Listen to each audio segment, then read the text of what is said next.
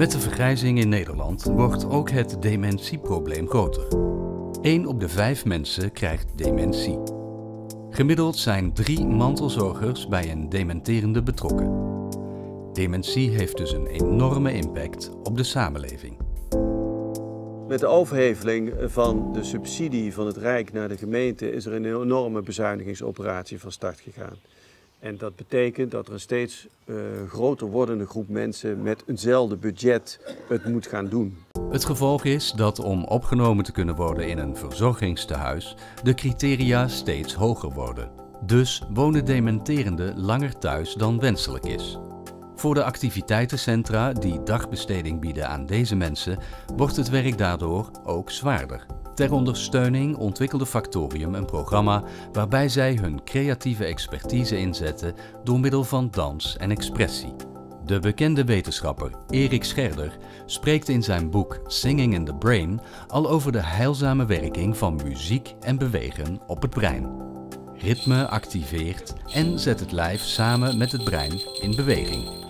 Ook Stichting Alzheimer Nederland zoekt naar methoden om nauwer aan te sluiten bij de behoeftes van hun doelgroep. We kennen de traditionele vorm van eh, de huiskameropvang, noem ik het maar. Mensen komen een dagdeel bij elkaar, uh, drinken een kopje koffie, doen een spelletje, luisteren naar muziek en dat is het dan. Daarnaast zien we een, een vorm die bekend staat onder de zorgboerderij. Dat is een wat actievere vorm van, van dagopvang. Maar daartussenin zit eigenlijk heel weinig. Wij zoeken nu op dit moment naar meer vormen van dagopvang, dagbesteding, om uh, tegemoet te komen aan de vraag die de mensen hebben. De activiteitenbegeleiders merken vaak al hoe mensen uitkijken naar hun dansles. Dan hebben we eigenlijk in de voorbereiding alweer pret. Zo van, hé, hey, fijn, we gaan bewegen. En um, ja, boven, je ziet de mensen ontspannen. Je ziet ze vrolijker worden. Ik vind het zo fijn dat inderdaad wij weer in beweging kunnen zijn. Door de muziek bewegingen maken. Ja, daar geniet ik van. Dat er zo te genieten valt, is mede dankzij de inzet van Boyke Brandt. Ik heb in 1 januari afscheid genomen als directeur van Factorium Podiumkunsten. Normaal gesproken kreeg je misschien wel een gouden horloge. Uh, maar goed, ik vond het belangrijk om dit onderwerp toch onder de aandacht te brengen.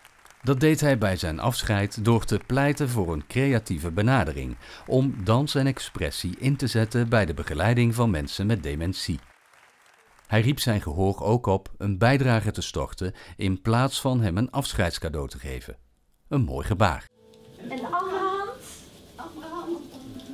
En je arm. Wrijf je benen. Lekker snel wrijven.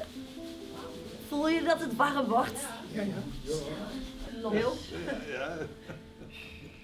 We beginnen natuurlijk iedereen eerst uh, van harte welkom te heten. Dan starten we met een warming-up. Dat doen we altijd op muziek, verschillende genres. De vorm van een hartje. Ja, mooi. Dan maken we de spieren los, de hartslag wordt verhoogd. We gaan iets actiever bewegen. Muziek kan uitdrukken wat we niet kunnen zeggen en waarover we niet kunnen zwijgen.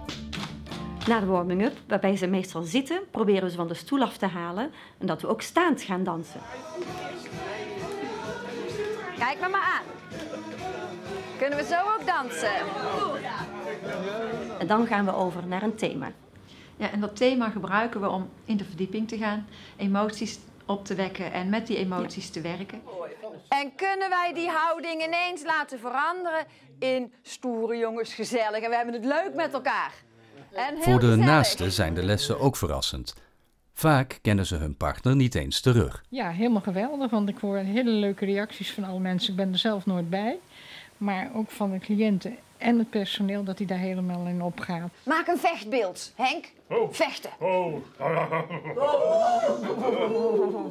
Ook bezoekster Ada geniet met volle teugen van de lessen. Toen ze jong was en rock'n'roll, weet ik het allemaal wat van dansen. Daar was ze heel enthousiast in. Ja, dus dan keek ik en dacht, ja, geweldig.